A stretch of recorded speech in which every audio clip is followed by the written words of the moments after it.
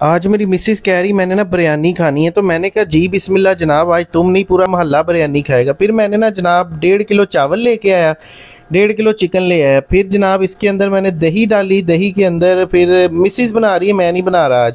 یہاں پہ بریانی مسالہ، لال مرچ، ہلدی اور دھنیے کا پاؤڈر، گرم مسالہ، یہ چیزیں ڈالنے کے بعد اچھی طرح اس کو مکس کیا، پھر نمک اس کے اندر ڈال دیا اور پھر اس کے اندر چکن شامل کر دیا۔ چکن ڈالنے کے بعد نا جناب اس کو اچھی طرح سے ہلا لیا، آدھے گھنٹے کا اس کو ریسٹ دے دیا۔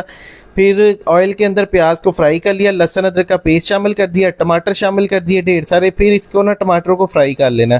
اس کے اندر نا پھر قورمہ شامل کیا جو ہم نے میرینیٹ کیا تھا نا چکن یہ شامل کر دیا۔ اور یہاں پہ دوسری طرف پانی بوائل کر کے نا، اس کے اندر سبز مرچیں، سبز دھنیا، جتنے بھی گھر میں مسالے تھے، سارے ڈال دیے۔ چھوٹی، بڑی، الائچی، لونگ الائچی، اس کے علاوہ دار، چینی، سارا کچھ ڈال دیا۔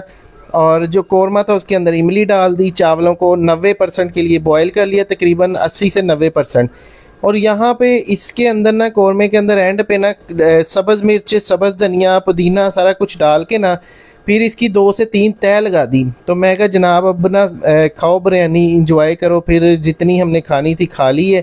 پہلے لوگوں کو بھیجی، اس کے بعد ہم نے کھائی، پھر بڑا مزہ آیا انجوائے کیا۔